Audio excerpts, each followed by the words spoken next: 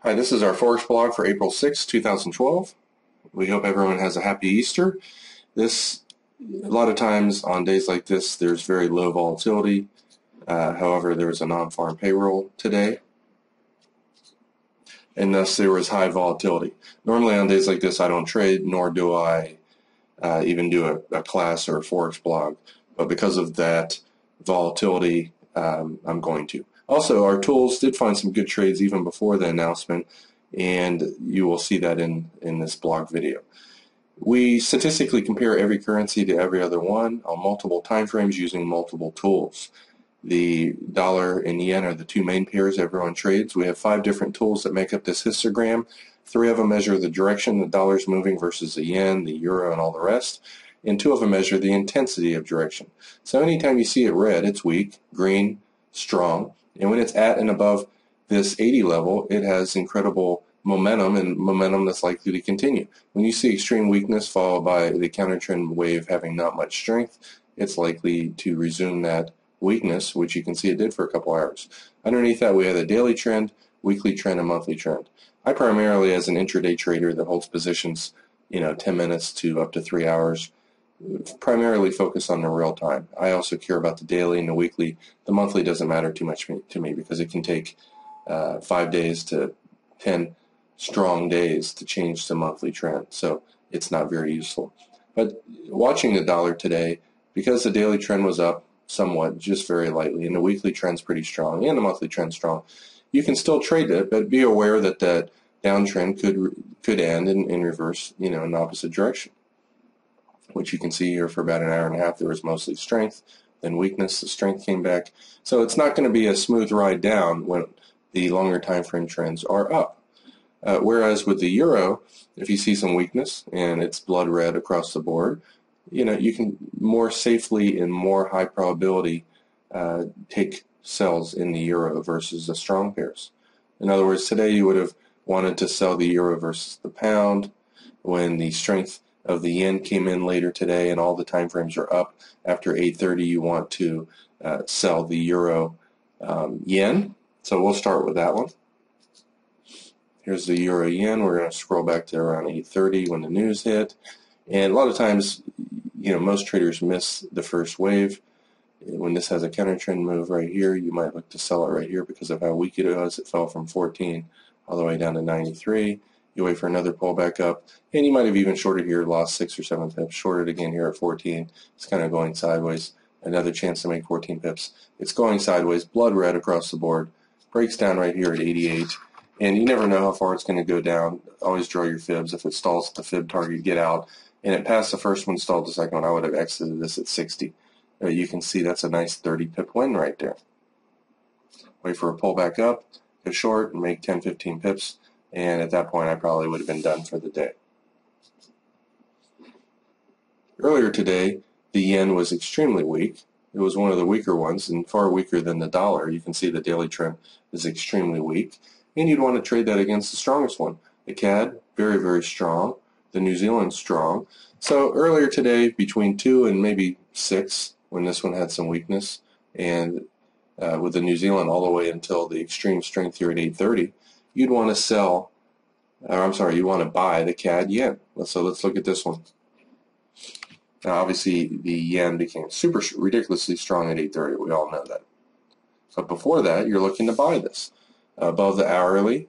You're looking to buy, and you can just simply, you know, when it finds support, the hourly and starts to go back up, you could get in here at 78, use your trailing stop, very small four pip win. In here at 85, out uh, at 04. That's about a 20 pip win.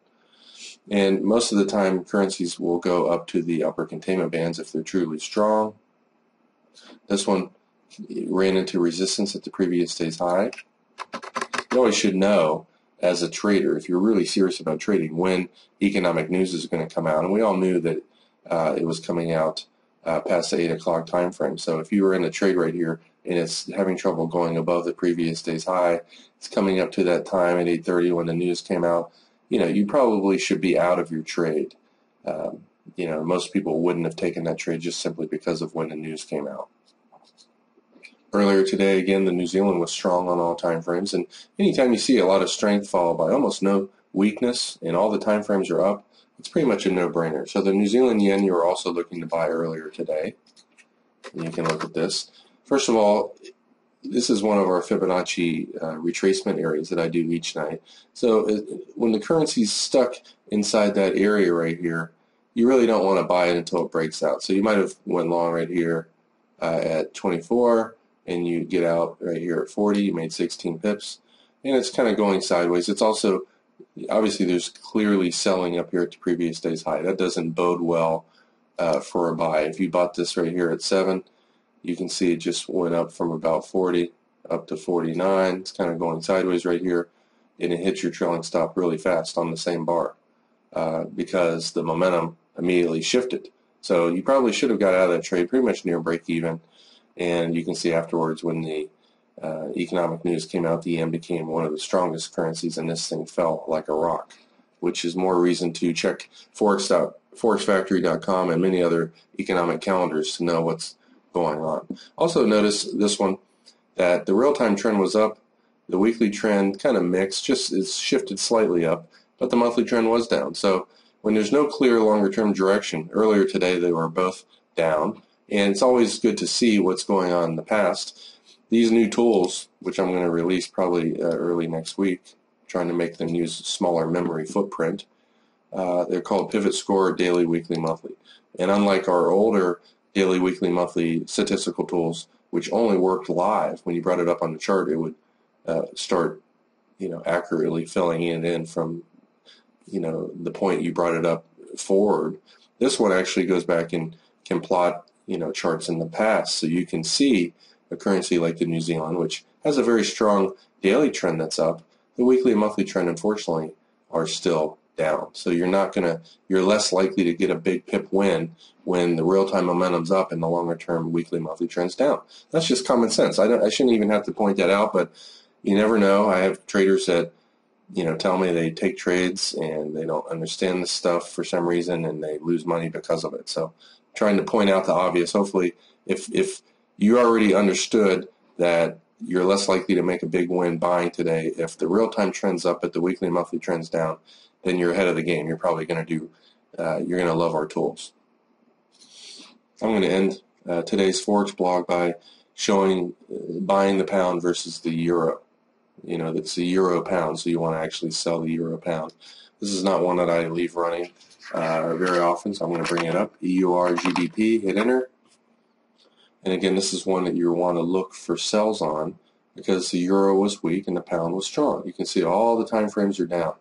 And one of the methods that we use is when the currency works its way back up to the hourly and can't get above it. Right here it did, right here it did. It's very likely to go down. You might have shorted this when the bars went red at 51. And notice they came down to the previous day's low, a monthly pivot level right here, and it kind of ran out of steam. It didn't have off the charts momentum like some of the other currencies we saw. And as it's going sideways, you can see the weakness kind of fell. So it's pretty much a no-brainer to get out there. If that doesn't tell you you get out, our trailing stop right here did at 38. So you might have been short somewhere up at uh, 50, and you made 12 pips, which, you know, for the euro pound, that's good uh, because you made pretty much double the pip value on this one. So it's equivalent to about a 24 pip move. Wait for a pullback, counter trend signal right here if you went short, you made a little bit short again right here when the trailing stop got hit 46 and out here. That's uh, equivalent to about a 12 pip win. Uh, and again, the currency meter helps you find these ones, helps you pick the direction. Uh, and you might have, after this move up here, really stopped trading it because the momentum on the way up was uh, more than the previous weakness. Ideally, you want to see uh, a down move with incredible momentum at and above the 80 level for most of the bars. And then during the counter trend move, you want to see it more like this. That's a trend that's very likely to continue. Those are the ones you want to focus on. And last, to end this uh, video today, you want to also focus on currencies that meet those requirements and also have the most number of pips to the next support area if you're selling. If you're going to sell at 45 and uh, 38 is the next support area, uh, you know, you're looking at six or seven pips. Uh, if the next support area was 20 pips down, that would be a preferable choice to sell. It's basically like uh, driving on an empty road versus driving on uh, a gridlocked highway. in you know maybe Los Angeles during rush hour. You're, you might take an hour to move one mile if you're lucky. I mean, I've lived in California before and I've, I've driven a mile in one hour time frame. It's hard to even imagine, but it's true. Same thing with trading. You don't want to short a currency that has a support area right there. You're in kind of a busy traffic lane and you're not going to, your odds of having a positive outcome uh, go down.